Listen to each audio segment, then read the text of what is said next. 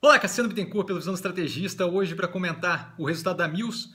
Para quem não conhece a empresa, primariamente a empresa opera com locação de equipamento, né, equipamento, veículos, é, especificamente ali mais amplamente plataformas aéreas, para setor de construção civil, infraestrutura, indústria, e aí oscila bastante. No, na análise do terceiro trimestre de 2019, que é um vídeo que está aqui embaixo na descrição e eu aconselho ver, eu entro mais na abertura, setor a setor, tá? e, e de o que, que é cada proporção ali da operação dela. É dividido em duas áreas, uma área menor chamada construção, uma área maior chamada locação.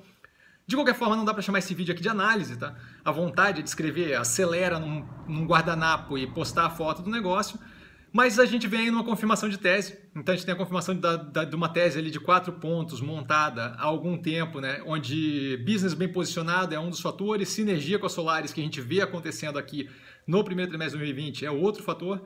Melhoria operacional forte e consistente tem uma continuidade, a gente vê novamente nessa análise. Tá? E a estrutura financeira sólida também, que vem melhorando ponto a ponto, sem nenhuma dificuldade. Então a gente vê ali Claramente a empresa teve uma melhora na operação, e aí eu estou comparando sempre o combinado, uma vez que não tem como fazer comparativo se não considerar Solaris como parte da operação nos trimestres que elas ainda não estavam em conjunto, senão o crescimento fica descasado e não tem propriamente uma comparabilidade. Né? Receita líquida cresce 9,2% year on year versus o primeiro trimestre de 2019. O SG&A tem uma recuperação forte é, com a junção da operação e o ganho ali né, de sinergia, redução de número de canibalismo entre unidades muito próximas umas das outras que a gente comentou na última análise. Então tem uma redução aí de 20,3% versus o, período anterior, o quarto trimestre de 2019. O EBITDA ajustado tem um crescimento de 29,5%, então muito forte, versus o crescimento da operação, claramente mostrando aí a relação sinérgica entre as duas operações, né, Solares e, e Mills. A margem vai para 31% versus 26,8% no mesmo período no passado e 28,2% quarter on quarter versus o quarto trimestre de 2019. O prejuízo é, vem reduzindo, de qualquer forma não, não incomoda, uma vez que é causado é, praticamente 100% ali, é, completamente, né, e mais ainda pela depreciação, que é um efeito não caixa, Além disso, isso causa um efeito positivo quando a gente fala tributariamente, né? uma vez que quando a empresa acaba tendo prejuízo, ela não tem, por exemplo, aquele lucro que ela teria taxado, então isso acaba funcionando ali no, no, no, resultado final. E a gente vê claramente uma relação, uma, uma, geração de caixa muito forte que a gente vai citar quando a gente falar das, da, da posição, do posicionamento financeiro e econômico da empresa. Tá? A sinergia, como eu falei antes, vem mostrada, ele vem demonstrado ali no SG&A, tá? nos gastos com vendas gerais e administrativos, onde a gente tem um delta de 0,6% year on year, mesmo com aumento forte da capacidade de geração de caixa operacional, medida ali pela EBITDA. Tá? A taxa de utilização da unidade de construção vem consistentemente, consistentemente aumentando, e isso é muito positivo, uma vez que a gente está tentando atingir o break-even para aquela unidade que ainda é muito pequena comparada com a operação como um todo. Tá? A posição econômico-financeira continua melhorando paulatinamente tá? e está numa posição confortável, caixa líquido ali de 60 milhões de reais, super positivo, especialmente nesse momento onde liquidez e solvência é o foco. 248 milhões em caixa disponíveis, disponibilidade, desculpa. Isso daí é para uma dívida, inclusive como vocês podem ver, mais alongada, né? recentemente aí feito um liability management buscando justamente alongar essa dívida, um movimento super positivo. Os covenants da dívida são respeitados aí com folga, sem grande dificuldade.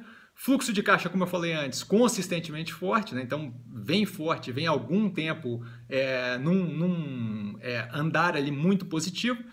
Como relação aos efeitos do Covid, a gente não viu nada em março, a gente viu algum efeito em abril, mas assim são módicos comparativamente com outras operações.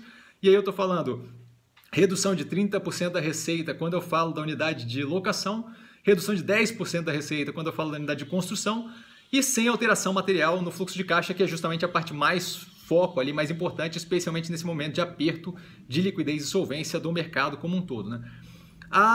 as economias, em geral, né? vários estados, cidades já vêm com plano de abertura ou pelo processo já em andamento de abertura, reabertura, né? Eu acho que construção civil deve ser um dos primeiros a reabrir, outras operações ali que justamente usam o equipamento locado é, ou comprado é, já utilizado, né? Da Mills, Mills Solares no caso aqui agora, o desconto do preço do ativo está em 45% aproximadamente, então isso daí desde a derrocada de março, não vejo qualquer tipo de justificativa com a operação melhorando esse tipo de desconto. A gente deve sim ter um segundo trimestre de 2020 um pouco mais apertado, mas nada que justifique 45% de desconto no preço. Tá? As medidas do Covid é, que a empresa está tomando, eu vou botar aí na tela por curiosidade aí para quem quiser dar uma lida, são vários e vários e vários pontos, é só dar um pause. Tá?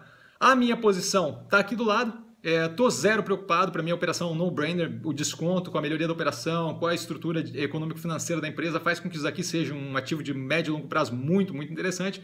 Mais do que isso, a gente tem uma base de clientes variadas, é, variada, desculpa, é, setores envolvidos bem variado também e uma capilaridade geográfica consideravelmente grande, o que torna a empresa é, mais resiliente e uma ótima operação de longo prazo, com bastante espaço para crescimento, e eu estaria jogando dinheiro no ativo se eu não tivesse 100% alocado.